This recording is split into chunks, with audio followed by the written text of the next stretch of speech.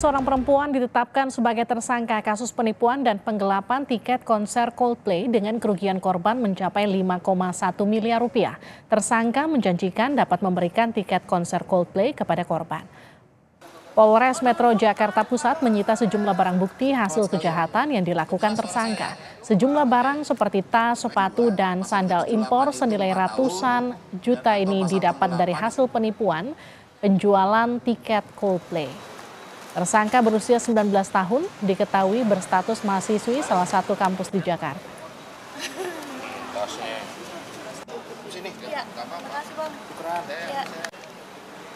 Kemudian GDA ini menawarkan kepada teman-temannya sebagai reseller ya, dengan dalih bahwa tiket tersebut adalah tiket komplimen.